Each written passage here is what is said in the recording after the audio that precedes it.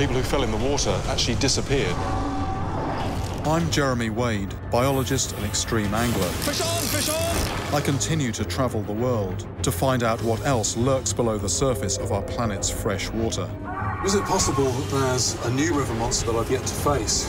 One thing is clear, the river monsters of the world are still out there.